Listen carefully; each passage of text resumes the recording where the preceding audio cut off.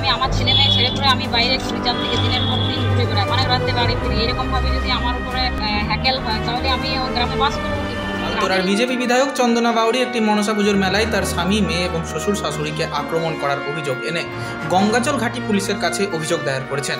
তৃণমূল এই সমস্ত অভিযোগ অস্বীকার করেছে।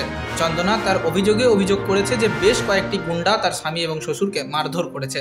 খবর পেয়ে তিনি ওই এলাকায় ছুটে আসলে দুর্বৃত্তরা ঘটনাস্থল থেকে পালিয়ে যায়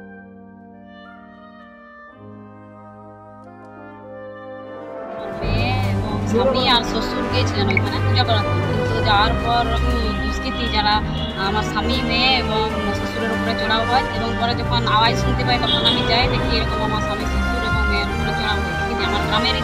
ওরা এরকমভাবে আমার ছেলে মেয়ে, ধরুন আমি আমার ছেলে মেয়ে ছেড়ে করে আমি বাইরে কুড়িচার থেকে দিনের পর দিন ঘুরে বেড়াই। অনেক রাতে বাড়ি ফিরি। এরকমভাবে যদি আমার উপরে হ্যাকেল হয়, তাহলে আমি গ্রামে বাস করব গ্রামেরই মানুষ কিছু আছে যারা আমার বিরোধী।